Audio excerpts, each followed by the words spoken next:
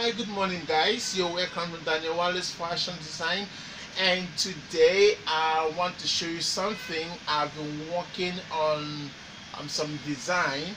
Uh, you know, um, that is why I've not yet um, posted some of my new work online because I've currently been working on some of my designs and also combined with school and also I'm writing exams. So it has been a little bit hectic to me but you know I have to fulfill you know my dreams and also make my customers proud of what I'm doing for them.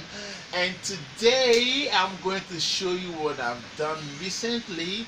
Um, it's just something that's very simple you know that you can wear anywhere that um, you're going. So this is just um, what I did um, just um, what I did recently. Um, this is just a little bit of purse you know this is the purse and this is um, the sneakers and you know is actually can see it here and this is how it goes. Um this is the inside of it so this is how it is.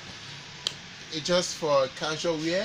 You can put it on with a jeans. You can put it on with any of these fabrics here either with these or with this color and you know and it's um good to go um I'll be sending it today. Actually, the person is not here in Bayelsa.